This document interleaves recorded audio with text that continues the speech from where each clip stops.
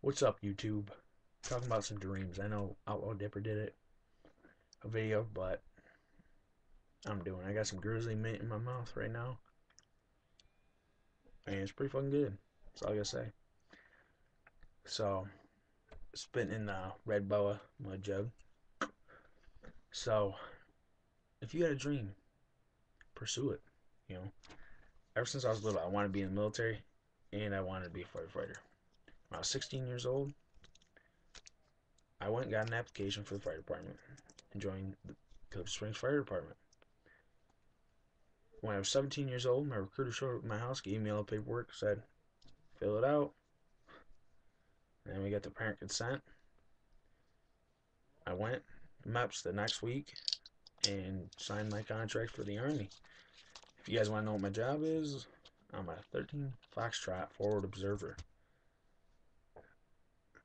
I call in mortars, ugh, airstrikes, and shit like that. I blow shit up all day.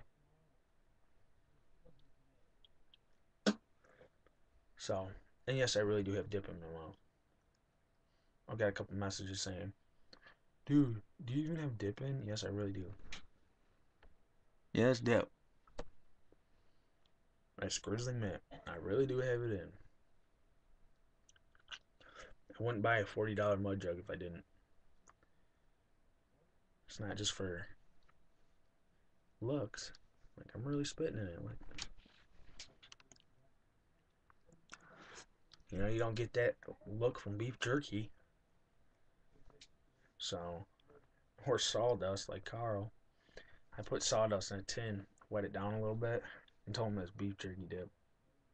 And put it in his mouth, and uh, a little bit later, I was like, like eight minutes later, I was like, Carl, how's that fucking beef jerky taste? He's like, tastes like fucking paper. So, oh, it was pretty good. But pursue your dreams, you know. Like Outlaw, I know you did MMA for a while. Now you want to be a WWE superstar. So pursue it, man. I think I think you got the potential to do it. You know, I was an MMA fighter. I got a third degree black belt in Taekwondo and a black belt in Brazilian Jiu Jitsu. And I know UFC, like MMA, not really UFC, but MMA is illegal in New York. So all of my fights have been out of state. Every weekend we would drive and drive and drive and finally get to where we were going. And I did MMA. So if you're in New York, you can do MMA. You just gotta put your mind to it and did a lot of long rifle rifle shooting and I have a lot of amateur shooting trophies and shit like that. My, my whole fucking thing up there is just covered in sh shooting trophies and football trophies and shit like that. So MMA is no joke though. You, people, are, I, a lot of people have been like, "Oh, you know, I ain't wake up fight that. I, I, I street fight all the time. I'm like undefeated in the streets." Like, oh, really? So I'll take him to the fucking dojo. And I'll whoop the shit out of him and make him realize it's, it's it ain't no fucking joke. So, Taekwondo is fun as fuck, though. I'll tell you that right now. Kicking people in the head. You cannot punch people in the head, but you can kick them all you want in the face. And that shit is fun. Jiu-Jitsu is fun, but I think it's funnier knocking people's teeth out. I had a couple of those up there. Other people's teeth with my trophies. If I knock it out in a tournament, I'll ask them if I can have it. It's weird, I know. But it's kind of like a little memorabilia. Like, yeah, it's not doing me any good out of, out of my mouth. I can't put it back in, so. Yeah, I think there's four teeth up there. and that's knocking them out when they have a mouth guard in. So, done a couple of them. Pretty fun.